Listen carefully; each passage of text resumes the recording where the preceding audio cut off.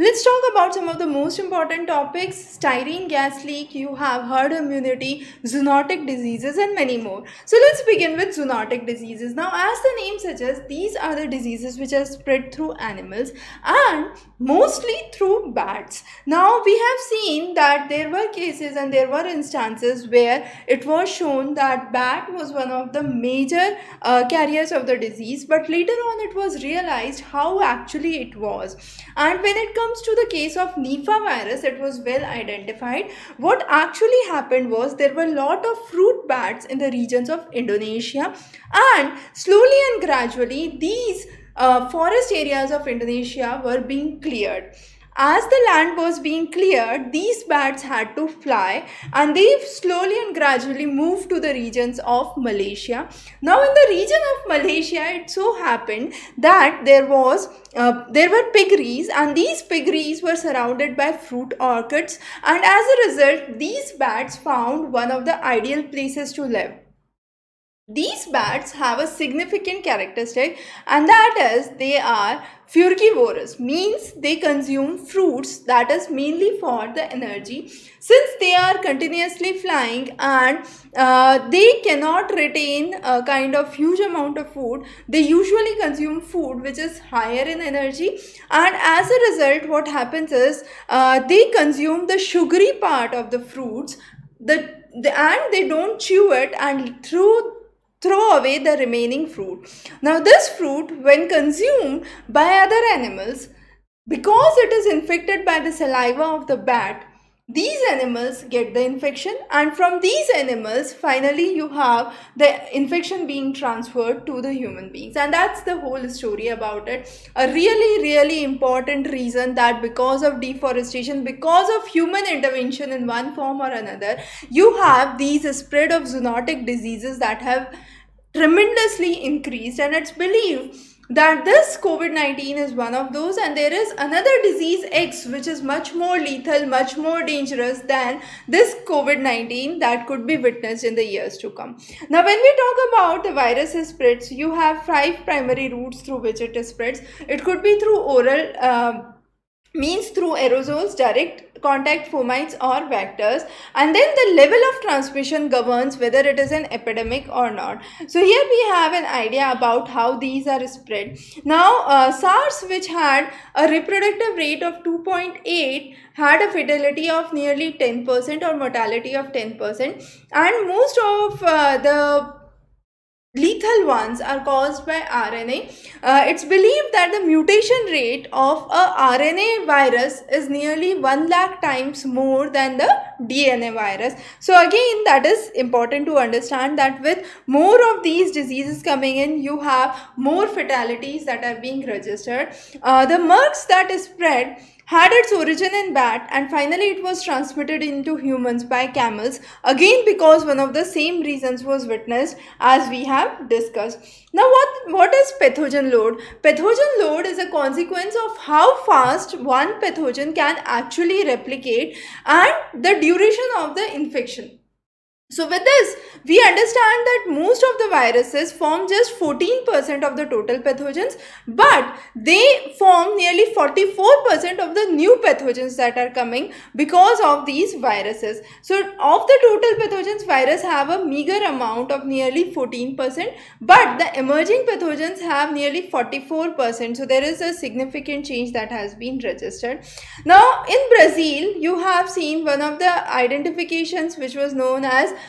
uh, virus, and this is a virus which is similar to dengue or Zika virus and this has further uh, six genus in which it has been spread. Now high morbidity has been seen. Now this is a list which talks about the various diseases, their deadliness and the contagious level. Now contagious means how quickly it can spread from one organism to another organism and deadliness means the morbidity or the mortality or the fatality rate that could be seen.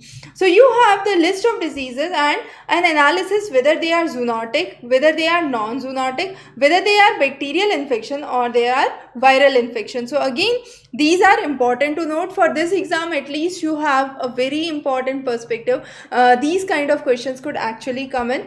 Of these, some dangerous variants have been registered, which were SARS, MERS, and uh, COVID 19. And then you have the Spanish flu that we would understand in a while. So, Spanish flu was one of the most severe flus and it was during the time of first world war it is believed that the damage caused by spanish flu was was much much more as compared to the world war one. You had numerous cases and 20 to 50 million people who got victim or who became victim to uh, the spanish flu and of which you have nearly 6.7 uh, lakh americans who were part of it and the estimated population was nearly 500 million. And slowly and gradually it was believed that these viruses could be eliminated either by herd immunity or by a vaccine that could be developed. And same is expected for the coming case that we are talking about. So Nipah virus how it is spread we already talked about. Similarly you have another uh, uh, fever which is known as Q fever and it is spread by one of the bacteria and it's commonly seen in goat sheep and cattle and it is transmitted through airborne uh, uh dispersal. Sim similarly you had Ebola which is a hemorrhagic fever and it is seen as a transmission from wild animals to human beings uh, first detected in the regions of Sudan and Congo in Africa. And the prevention only includes community engagement. The next is Kyasanur forest disease very common in the southwest part of India mainly in the western Ghats. Similar to uh, Ebola the hemorrhagic fever uh, this is transmitted through monkey there is no specific treatment the only way uh, is supportive therapy and early hospitalizations that could be seen. Similarly, you have scrub typhus which is a kind of bush typhus and it is again a bacterial infection. It is transmitted through infected chiggers or the larval mites that are there. Uh, the next is uh, understanding through where we have most of the viruses originating. Most of the viruses originate either through primates like monkeys, bats or rodents like uh, rats. Now 88% uh, of the mammal species have not been recorded with a zoonotic virus. Uh, most of these viruses that have been seen have host either again repeat in rodents, bats or primates. Now uh, we already talked about the disease X which is much more uh, potentially disruptive than the COVID-19. The next important is how can you build your immunity? There have been numerous uh, Ayurveda, Siddha and the Ayush therapy that has been recommended of which you have one of the most interesting ones which is Akarkara. Now Akarkara is one of the herbs which is used as an aphrodisiac. Also uh, it is seen as an insect repellent antibacterial uh, antimicrobial and it's used to kill the intestinal worm. Now studies have revealed that this has been one of the uh, most uh, uh good ways of boosting immunities because it has a compound which is known as N-alkylamide and that is uh, why this is again a very very important therapeutic herb. Similarly, you have Marsangan leaves and then you have uh, ya, uh, Yapi Gongo therapy that is used in the regions of Assam mainly with ginger and salt.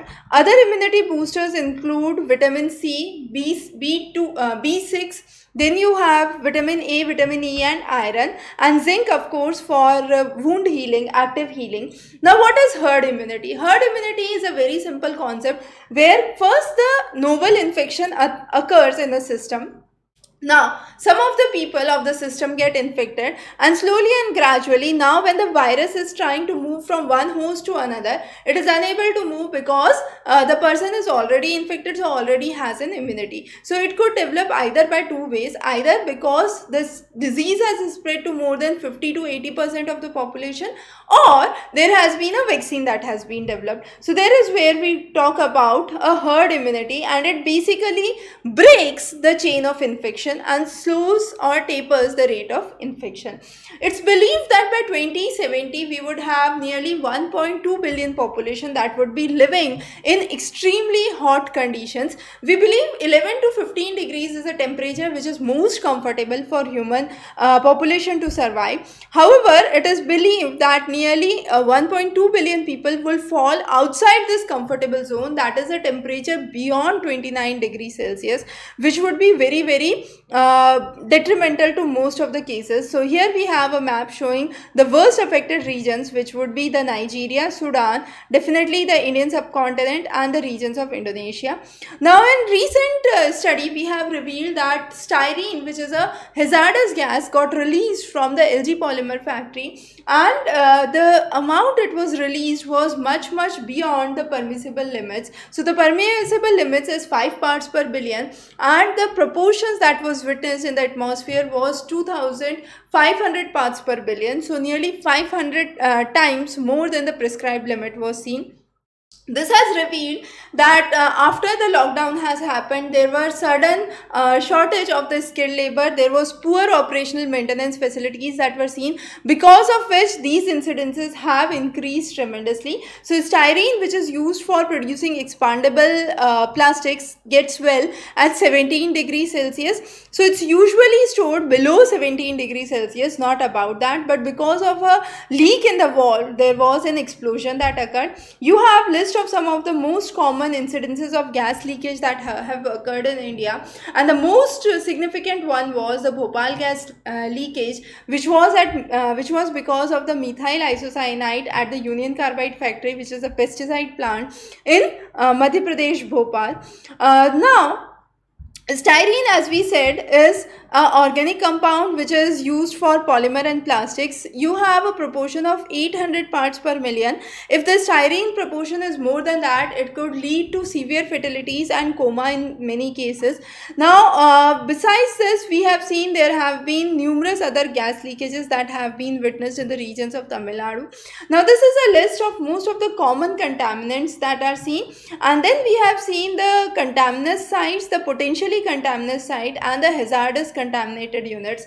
So uh, that is the numbers that are seen here and we have the list of contaminants that are being seen in the state-wise list. So again for your reference you would have this in the handouts. The next is the various acts related to it.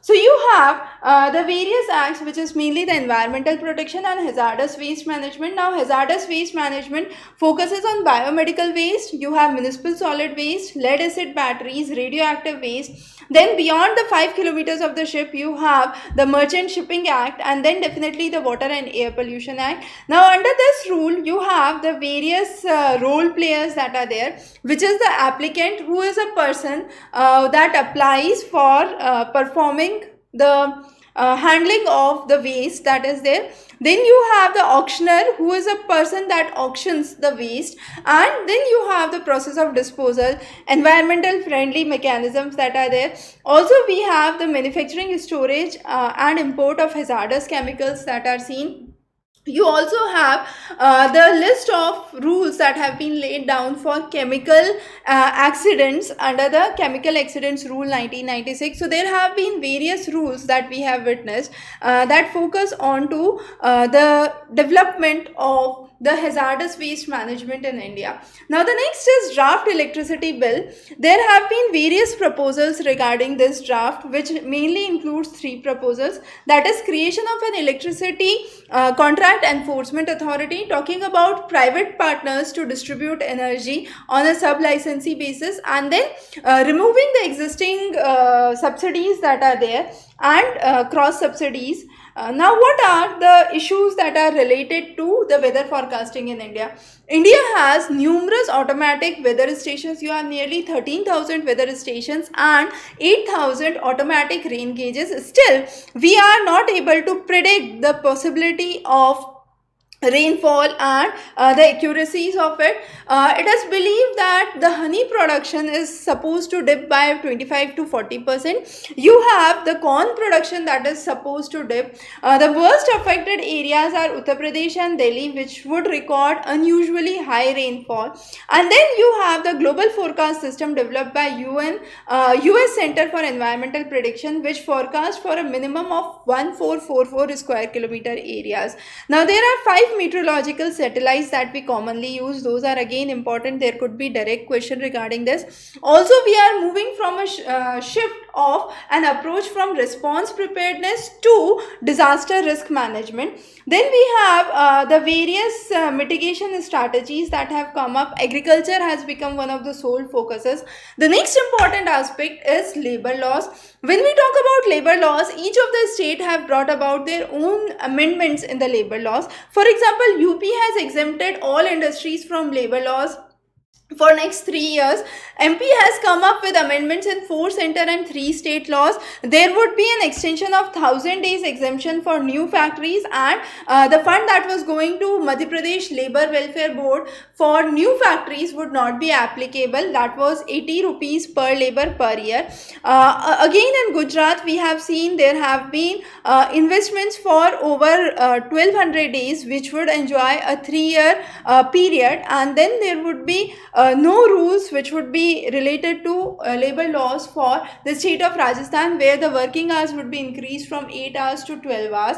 Uh, so there have been numerous amendments and changes that have been brought about. Now the core idea of introduction of labor laws was to ensure security and safety of laborers. You had various ways through it was uh, ways through which it was done. For example, Factory Act where welfare and safety was taken into consideration shops and commercial establishment where it was assured that the weekly uh, off would be paid. Minimum wages act which talked about setting up the min minimum wages limit and the industrial dispute which talked about the terms of service layoff and entrenchment. Uh, then the test scores. India has one of the least test scores in case of uh, the covid 19 testing kits. Uh, on the other hand you have countries like canada G uh, canada germany which have exceptionally high proportion of test scores that are done. However in india it's just 1.27 uh, flattening of the curve as we already discussed two uh, remove unnecessary burden on the healthcare infrastructure.